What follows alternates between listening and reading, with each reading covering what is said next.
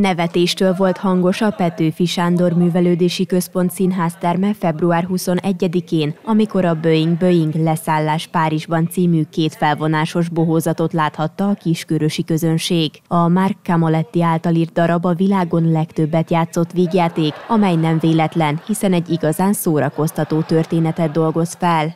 Ez egy nagy hazugsághalmaz gyakorlatilag. Van egy, egy tervező férfi, aki úgy dönt, hogy nem akar megnősülni, ellenben három mennyasszony tart. Nyilván a mennyasszonyok nem tudnak egymásról, mindegyik stewardess. Az egyik, amikor felszáll, a másik leszáll, tehát mindig két-két napot töltenek nála a lakásban. És hát egyszer csak adódik egy olyan szituáció, hogy az egyiknek előbb jön, a másiknak törölték a járatát, meg sztrájk van, és egyszerre mind a három nő ott van a lakásban. És akkor innentől kezdve a kit hova pakolsz, és jön a hazugság.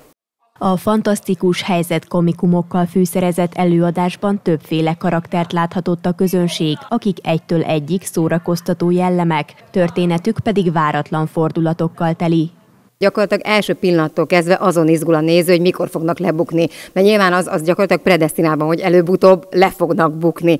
Hát a végén. A végén természetesen, de addig annyi lehetőség van, annyi szituáció, és annyi leleményes dolog, amit a pasik általában kiszoktak találni, amikor csajoznak, és egyik pillanatra a másikra vág az agyuk, és ez tele van, tehát mindenkinek nagyon jó trükkök és praktikák vannak a darabban. A Fodor Zsóka, Köllő Babett, Deutsch Anita, Mádi Piroska, Baronics Gábor, valamint Bozsó Péter által játszott darab számtalan alkalommal megtöltötte a színháztermek nézőterét szerte az országban, hiszen a végjátékban sorra követik egymást a poénok, melynek köszönhetően felhőtlen szórakozásban lehet része a nézőknek.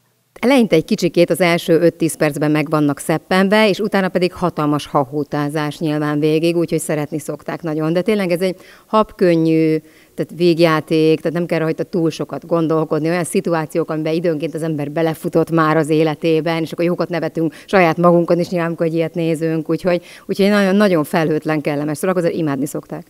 A darab végén a kiskörösi közönség hatalmas tapsviharral köszönte meg az előadást. A Boeing Boeing leszállás Párizsban című előadásról készült bővebb összeállításunkat, híradónkat követő Petőfi tér című kulturális műsorunkban tekinthetik meg.